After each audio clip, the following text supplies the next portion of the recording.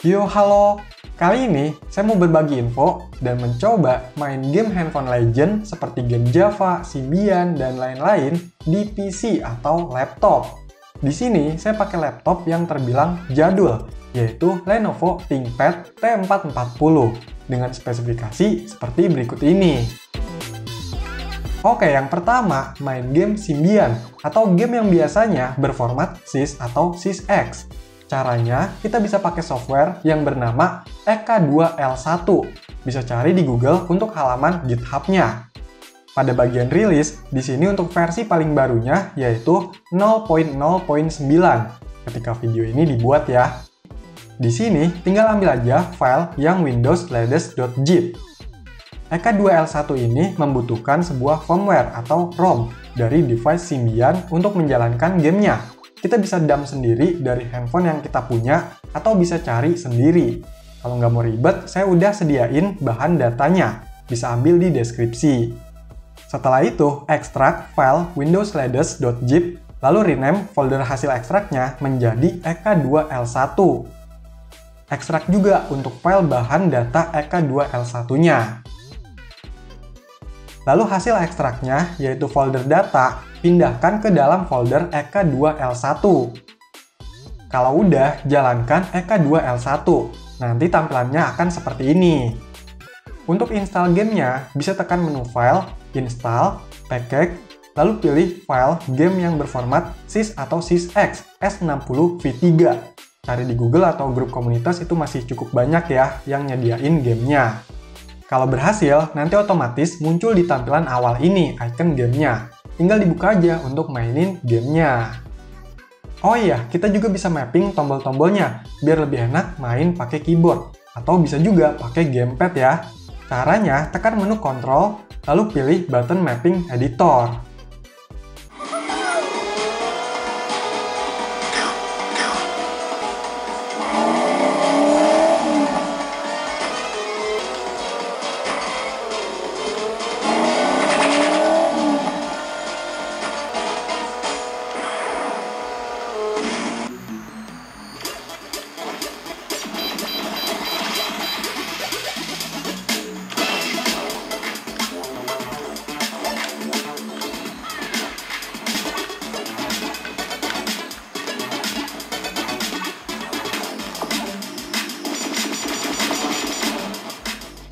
Firmware ini menggunakan Nokia 5320 dan di sini bisa mainin game platform NGEK 2.0 karena udah pre-install aplikasinya.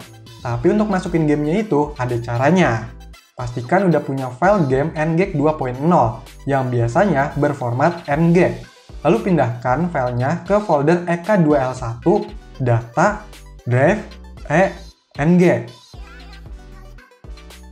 Kalau udah, kita bisa jalankan aplikasi NGEK 2.0, nanti otomatis gamenya terinstall di dalam sini, dan tinggal dimainkan.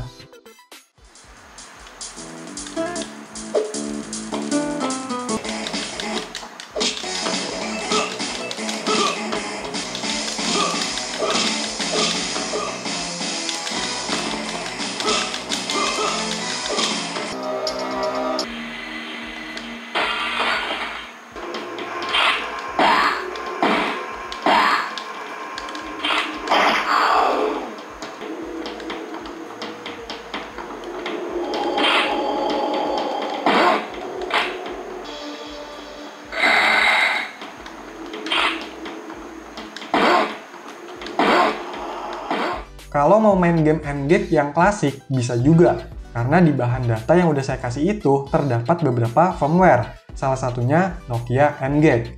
Karena firmware-nya itu beda, kita harus ganti dulu dengan cara pada device pilih Nokia N-Gate. Lalu tutup aplikasi EK2L1-nya dari yang seperti CMD itu ya, terus dibuka lagi. Untuk masukin gamenya, silahkan pindahkan game N-Gate yang biasanya berupa folder sistem ke folder EK2L1, data, drive, E. Setelah itu, tekan menu file dan pilih refresh app list. Nanti otomatis gamenya itu muncul dan tinggal dimainkan.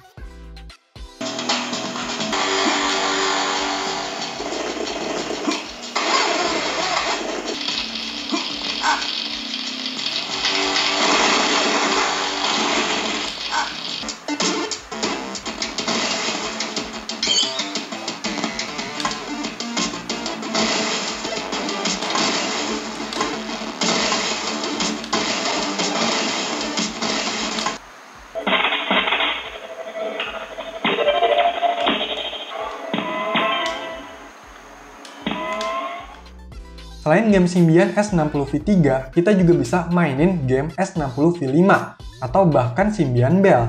Caranya ya tinggal ganti aja firmware device-nya, lalu tutup dan buka lagi EK2L1-nya. Untuk install gamenya juga seperti yang S60V3 dengan cara tekan menu file, install, package, lalu pilih file game yang berformat sys atau sysx sesuai firmware yang sedang dipakai.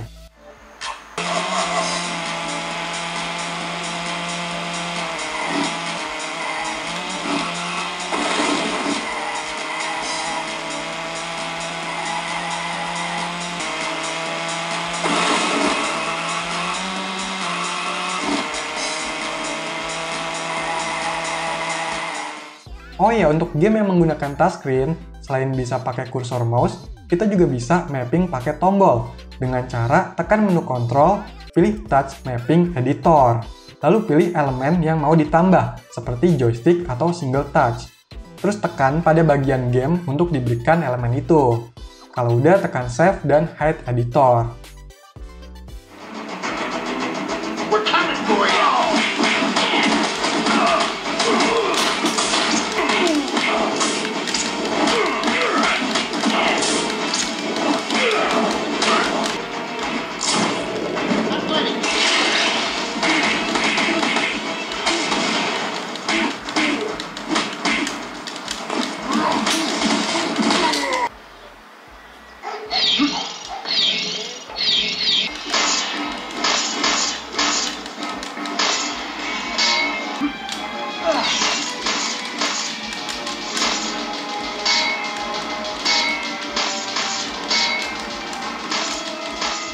Emulator EK2L1 ini memang bisa memainkan beberapa game Symbian dengan lancar di spek laptop yang saya pakai ini.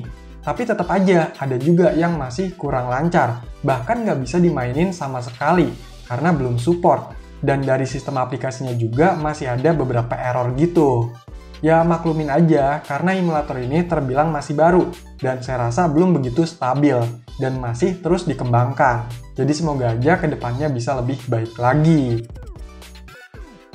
Oke lanjut, selain game Symbian, game Java atau game yang berformat jar juga terbilang legend.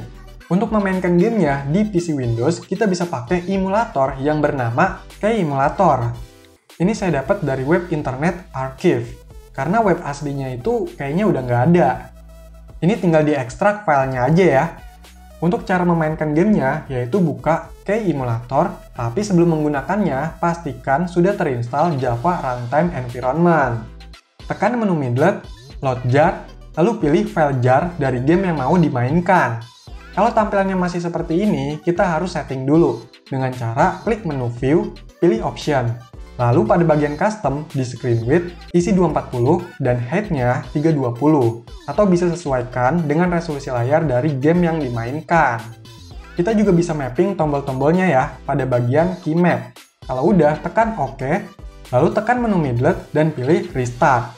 Kalau mau gedein tampilannya, tekan menu tool dan pilih zoom in. Udah deh tinggal mainin gamenya.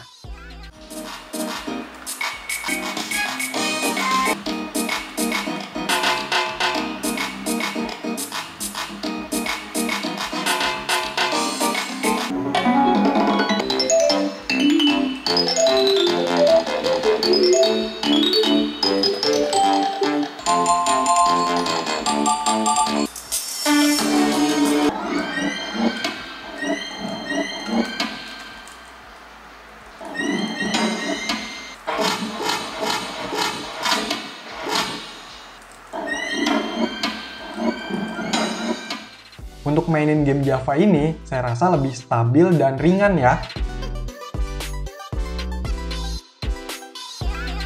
Dengan adanya beberapa emulator, kita bisa kembali menikmati game-game yang hits pada zamannya, tanpa harus punya device khususnya.